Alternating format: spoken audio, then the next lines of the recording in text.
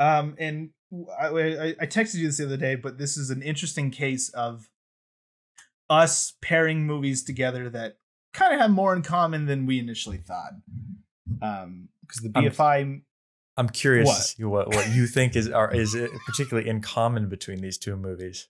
But hey, it, it's it's it, they're both movies about being punished for forgetting your wife. yeah, yeah, okay, yeah. So the Well, the BFI spectral spirit, yeah, yeah. Movie of the week. continue. is the, It's over there. the classic Japanese. f- Yeah, I just Mm, noticed that. So, so, some, totally- somewhere there.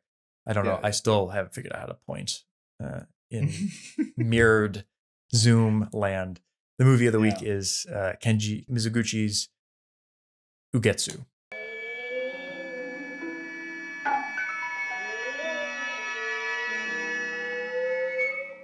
Uh, Ugetsu Second Monogatari. Mizoguchi of the podcast. Yes, the first one was Sansho the Bailiff, and reviewed that a few few episodes ago. Yeah, and now we're reviewing Ugetsu, which is the second and final Mizoguchi film on the Yeah. BFI list. And it is a movie I've seen before. Chandler has not. I'm not. Yeah. Uh, it is a. It's one of those movies that eh, has a lot of backstory. It's one of the the call it the granddaddies of Japanese cinema, along with uh, Rashomon. I think uh, Roger Ebert particularly uh, espoused the idea that this and Rashomon were the two movies that help uh, bring Japanese cinema to the the Western audiences and directed a lot of critical attention towards Japan in the uh, in the 50s. And then of course, you know, after that, Kurosawa started shitting out masterpieces and the world was ready, was prepared to receive them at that point. Um, but Curse. Mizoguchi, uh, despite this film being, um, uh, it had uh, wide critical reception when it was released throughout the world. Um, it has kind of fallen off uh, from the the uh, consciousness of, of film criticism, sort of. Mizoguchi as himself, has Mizoguchi as a whole. Yeah. yeah, and um, Cringe. that's that's fine. It's, you know, there's some directors where I'm like, this director really needs more attention, and it, and I think Mizoguchi could definitely deserves more attention, but he's one of those directors where I'm like, he's he's a nice little hidden secret, and you can find him if you want, or you don't have to. I'm not worried because he's great. Keep Or it at the very least, he's very keep interesting. Safe. So what did you? Well, before we get re- real quick, Ugetsu is based on some classic Japanese uh, folk tales. Tells the the story of uh, two pair two pairs of husband and wife. One's a potter. One is a uh, Aspiring hus- samurai. the other husband is an aspiring samurai, and they both uh, aspire too much to their goals and end up Yeah. screwing their families in a time of war and destruction in Japan. Yeah. And it is it's got some interesting uh, supernatural elements to it. It weaves Japanese culture and history throughout its narrative, and it is fairly short too. Yeah, 99 minutes, 96 minutes. Yeah. Mhm. And so, Chandler, what did you think of Ugetsu?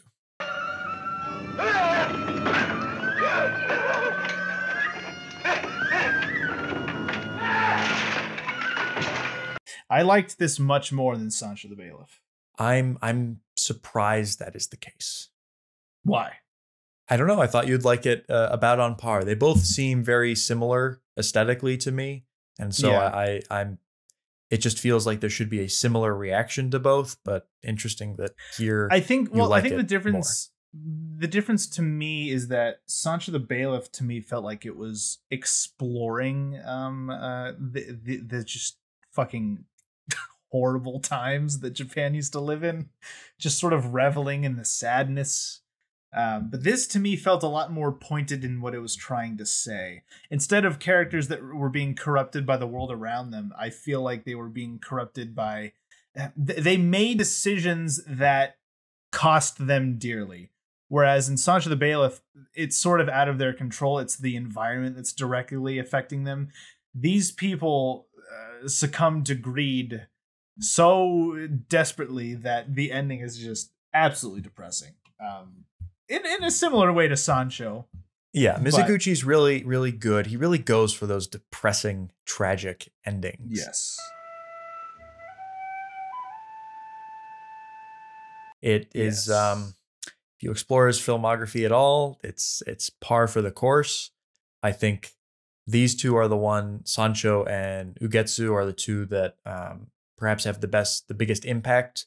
They're the most emotionally kind of devastating at the end, but essentially most of his other movies do do they don't end on on particularly happy notes, but I'd say uh bittersweet. Ugetsu's a bittersweet ending. Yeah, the ending definitely there's there's hope. There's uh, there's still hope. where, where our discussion of under over the the garden wall i'd say that that's a bittersweet ending but a capital sweet yeah. this is a bittersweet ending capital bitter Yeah. Um so yeah, I I really like this. Uh part of me uh, I was worried at first because it, it does feel very disjointed. Um because it, it follows two couples essentially. And they're not necessarily mirror experiences. They're they're Yeah. both uh, uh tied together by these themes of greed uh, and, and they get more divergent as the film goes on so you you Yeah. start by following all four of them then you follow the two of them and then it, it fractals out until the end when they kind Yeah. of come back together And it's funny because uh, I, I watched this um this whole last week. I've been uh, watching Samurai Champloo again, uh, starting Mm. from the beginning, and I just come to the realization that warring era Japan has just got to be one of the worst fucking times to live in.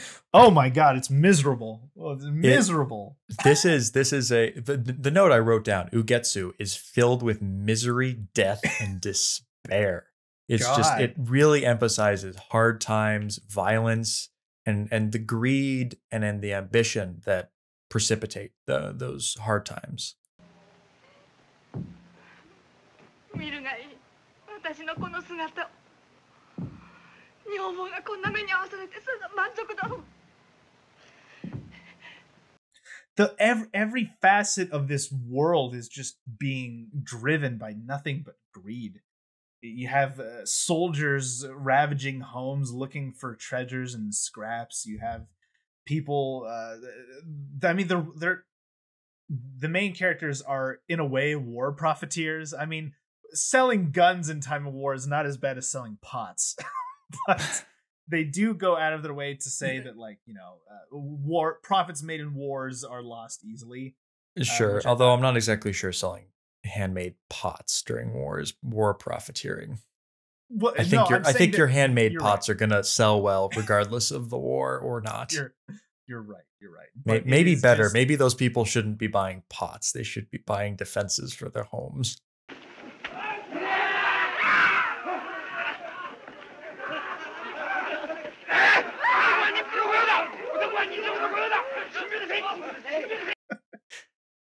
But yeah it's like uh, you know uh, war the the the economic opportunities that war um uh, uh, offers The ambition, Japan. the career Yeah. opportunities war offers. yeah it's just there's there's no hope in this world until the very end um but an- another thing that uh, drew me to this movie is that it is it's it's a tale of greed at first but it's also a really well done ghost story. These are the Ve- kinds very of ghost stories It's it's yes. it's like a it's like a ghost story that appears in the middle of this tragic tale and, and makes it worse in in a, in a way because the like we said it fractals out. We follow the both of the men both of the women and we it's just his story the uh the potter the Man, potter's Potter. story. Um his his little little vignettes we cut back occasionally to him and his journeys into the the spirit world. And because the rest of it is fairly grounded. And i think you could say that the the idea of mysticism and something spiritual happening in the film is first introduced on the uh, the lake the boat ride which i think is the first time in the movie when they, they travel over the, Yeah, the yeah. lake yeah and I think that's the first time in the movie where it really sets a tone, an atmosphere other than war, gritty war. Like it, it, it, it takes a, an interesting turn away from it's still dour and and miserable, but it's in this this kind of weird creepy vibe and does a very good job at evoking that feeling. And then it doesn't really come back until later, just kind of like simmering under underneath, where you get this feeling that there's there's something else, there's something mystical about what's what's going on with him, and then you know it's eventually revealed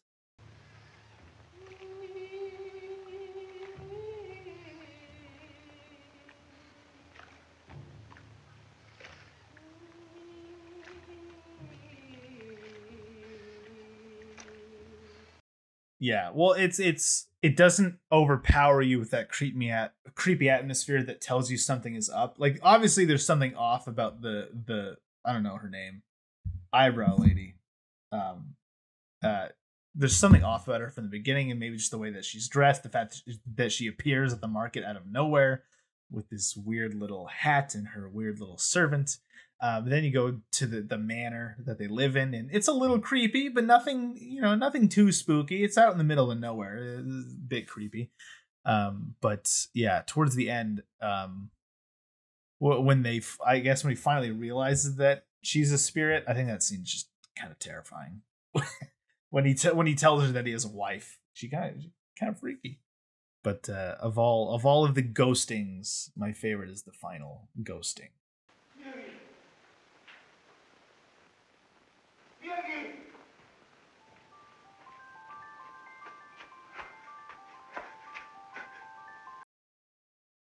Oh, yes. Yes. And it's it's it's beautiful sort of. That's that's where the bittersweet comes back in and it's it's a really great like final sequence there. So, spoilers, who cares? It's this uh, old black and white Japanese film. So he finally goes home um, to his wife, who we know is dead, but she's there anyway. And they have like this last night together. Um, and in a in a different film, in shall we say Kwaidan, it, it could go the Kwaidan route with the, like the black hair. Remember that one? Yeah, yeah. Is she I th- in that? Because I think that the, I think that's referencing sort of that that story, yeah. that that myth of, of Japanese culture, because that's also a uh, a man who's been away from home for a very long time returns home. His wife is there, but in Ugetsu, it is this kind of um, uh, reunion. There's a sense of peace, uh, a reconciliation that happens, even though it's kind of all in his mind. Uh, but yeah. in Kwaidan, it's uh, more audition style revenge on the, the man that disappeared. Very spooky.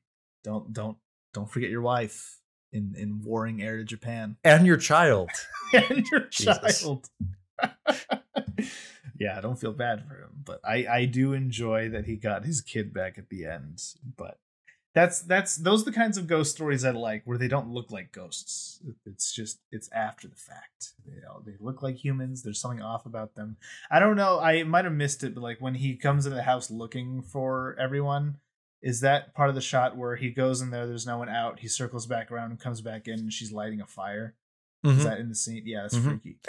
Yeah, spooky. Well, it's also really. um This is sort of towards the not the end of Mizoguchi's career, but it's you know nearing the end, and he he certainly was much more stylistically. Uh, what's the word I'm looking for? Um, earlier in his career, he he was his style was much more uh, verbose. It was very obvious. Lots of yeah. long takes, slow takes, um, and here it's it, it's fairly standard. I don't want to say standard filmmaking, um, but he's using uh, why just plain master shots cutting into the action. It's not terribly complicated or long, but there are long takes and it's really interestingly shot and how dynamic it is, particularly in the beginning with his use of um, the foreground, middle ground, and background of of yeah. using all the different spaces of uh, the frame, of m- moving the camera within the scene, of reframing things within a camera shot. That shot's particularly uh, when it does it circles around and she's not there in the beginning yep. of the shot and then she's there at the end. Great. Um, breathing. There's a lot of- a lot of great shots in the, in the beginning of the movie where it's it's wide shots, it moves in, moves out, closer, and it's it's a fairly really really well shot film. Lighting too, in particular scenes, like it can be. There are some shots where it's just like uh, you can probably tell that it was shot on a sound like large portions of it were shot on a soundstage. Yeah, yeah.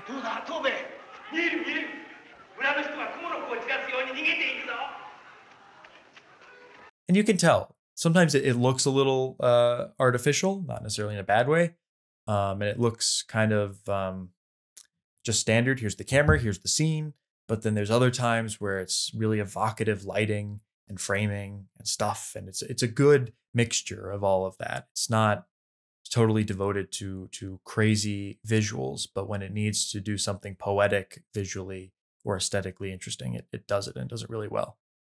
A lot of really creepy sound work in this too. Mm-hmm. I don't that that scene where uh, he's talking to the the spirit about how he has a wife and it reveals all of the the anti ghost markings on him.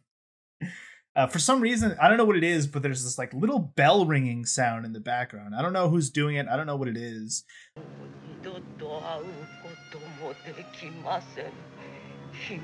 But as the scene becomes more and more freaky with that ghost revealing uh, that she is a ghost, it it, it becomes it's like I, I still have no idea what it is, but you know what I'm talking about that little uh that clanking sound that's in the background of that whole scene. yeah It becomes like the the more she reveals of her her ghostly nature, it becomes more irregular. Um, it's got a nice slow pace to it. I have no idea what it is, but it's just a small thing that really fucking creeps me out. Um, yeah, it's it's a good little. Sp- it's not as uh, it wasn't as much of a horror movie as I was expecting, but those little pockets of it are, very spooky. But it's, it's, like it's a weird because you light have- ghost story Yeah, it's yeah. myth and ghosts to well to me it's funny because you have like that side the potter and his wife that's that's spooky it's mystic um but then the other side which i find equally uh, uh compelling but in a more realistic way the story of the, other husband who's the, the aspiring samurai. And i find that just that arc so fascinating when he he he kills the guy who had who gets the general's head.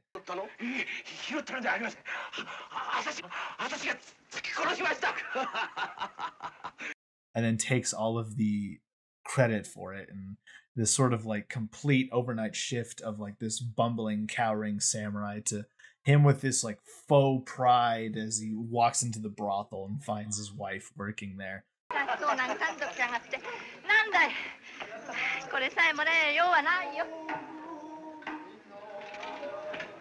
very interesting little dynamic. And there is hope at the end of that story because I like that this movie allows them at least to learn their lesson, um, albeit with great consequences, costs. But I do like the the comparatively hopeful ending it ends on as opposed to sansho which is just the most fucking depressing ending of all time. Yeah, and uh, another another piece of imagery that I thought was really worked really well is the the tale him at the the manor, uh, the ghost story part of this, and it's there's some really great shots of when they're they're kind of like in their romance phase before we know it's a she's a ghost. They're out on the um, the grassy field out by the lake, and there's a, a tree, and it's it's a very well framed shot. Uh, and then particularly haunting is at the end when he he wakes up from his his battle with the ghosts, and he wakes up in the ruins of the old uh, Yeah. mansion, and it's just they're they're burnt out and jagged edges, and the the the lighting, the way it's lit, and then in the background in the soundtrack, she's um, singing, uh, Yeah. and it's very very faint, very eerie and ghost like, and it's it's it's one of those great uh, mood evoking moments of the movie.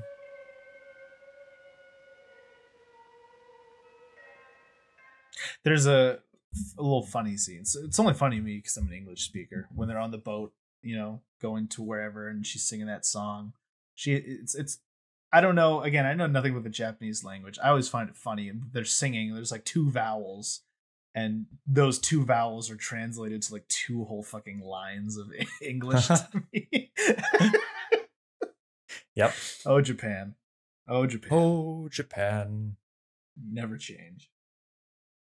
But yeah, very very solid, very solid movie. I'm I it's it's I don't know, it's it's such a it's such a almost formless movie. It's so restrained, it's so unstylish, but says so much by doing so. It's it's difficult to distill. Um, but I, I don't know. I, I really I want to get the criterion now. I quite enjoyed it. It's a good criterion. Got it's got plenty of stuff. Um, speaking of Kaneto Shindo, the director of Onibaba, he did a direct uh, documentary which is on the Blu-ray, and it's, it's I feel like it's three hours long, and it's about Kenji Mizoguchi, and he just goes around interviewing everyone he can find from his from Oh, interesting. past after like after he died. Hmm. It was, I watched a little bit of it. You know, it's, it was a bit bit long. hours long. Yeah. For the Mizoguchi fans. Yeah. The hardcore fans. Um, with with Ugetsu, I'm not as emotionally attached to the characters as I am in Sansho. Sansho. I don't I don't think there's uh, there's there's far more to get invested in in Sansho, but I think uh, Ugetsu has perhaps the the more interesting plotting, the more ambiguous uh, morals and things to say, and it's it. Mizoguchi is is sort of a um, a progressive when it comes to Japanese society, but I find it interesting that you could read the film as uh, telling people to stay in their place in life, uh, as like these Yeah. two peasants uh, try to uh, overstep their bounds in society. They get punished, and in the end, they're happy because they're back in their in their fucking place in the village with their families and don't Okay. leave. Don't don't want more in life. I'm not saying this is what the movie's saying, but you could yeah, read no, it that I way. agree. I agree. It And could I- I be think read that way. To Mhm. well, to me, it's more about like ambition without exploitation. Um, because obviously it's about greed. Don't make pots for soldiers, I guess. but like he's obviously he's not making an honest living. He's profiteering off war, not in the same way other people do. The other guy definitely. I mean, he fucking he killed a guy and stole his honor for personal gain. Um, and then in the end, you know, he's working hard. He's Yeah. working hard And at the I- little I- thing. For me, I think it's less the the the war is less important about the morals. It's more that he's trying to profit for the sake of profit. That he he's Yeah, yeah. yeah. forgets the fact that he's doing it for his wife and kid, and that they have enough money. they're the reason, and he loses sight of that and is more interested in in just selling as much as he as he can. And Yeah, at yeah. the end, I think it is ultimately a advocating for um, responsibility to to those that you love, that you you have work, but that work should be in service of of something that's more emotionally fulfilling Yeah. and something that you've uh, a life that you you have responsibilities towards and you should not neglect. Bottom line, Mizoguchi's based. And Mizoguchi's great. Yes, I do. Very a little based. interesting plug for another Mizoguchi film here. The the Loyal 47 Ronin. It's um it's like three, three and a half hours or something. It's uh two parts. And this is earlier on Mizoguchi. So it is um really interesting framing, but the shots are long. Like like Oh, like it's just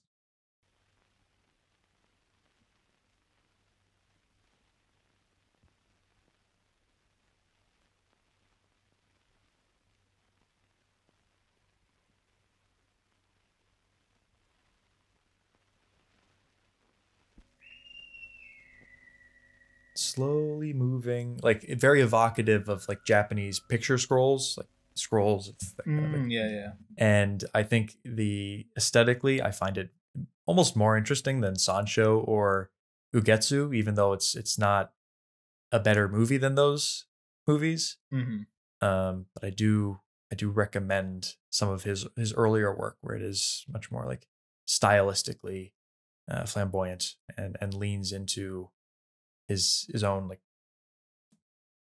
slowness and Japaneseness. He's a very he's a very Japanese director, and I find it interesting that like like Ozu, he's very Japanese, but in a very different way. He's more into the the myth and the culture of Japan, of of classic Japan and of looking at society in Japan Yeah. rather than than Ozu's more kind of grounded and and based in real life and family Yeah, dynamics modern. contemporary Japan. Yeah. Yeah, yeah. Examine the past to explain the the present. Yeah.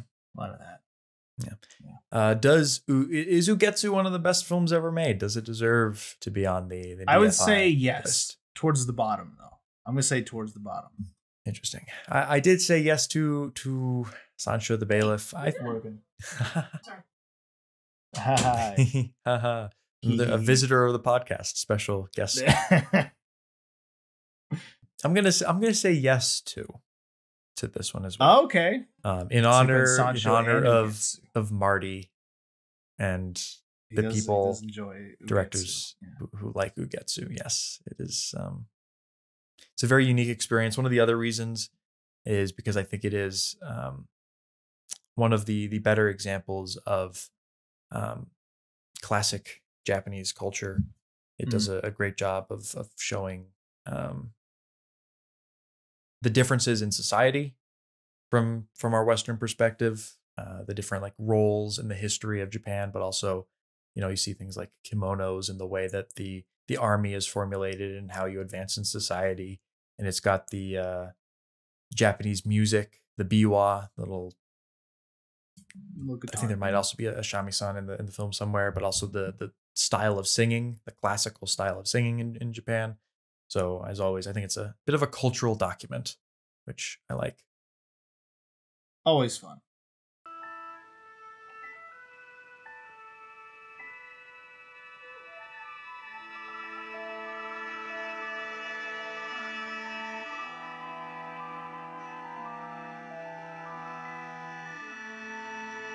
Thanks uh thanks for watching. That was that was our review of ugetsu and uh, of course we were also reviewing audition over the garden wall. It's fun. Great things. I think we recommend all three of them uh, They're all to, good, to a all good. greater or lesser extent. Yeah. um and yeah thanks for watching. Like comment subscribe do do the thing. Bell. appreciate it. Bell, comment, uh, yeah, all of it.